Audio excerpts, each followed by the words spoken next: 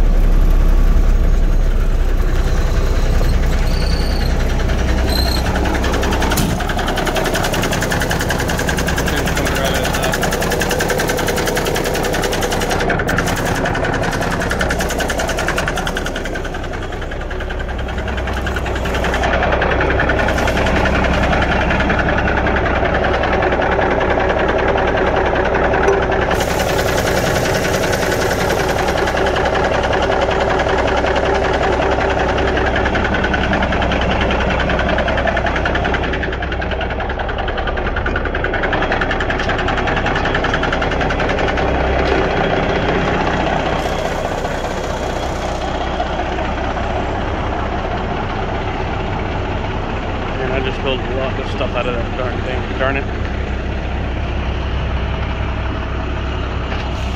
I had to hook up for a pump trailer.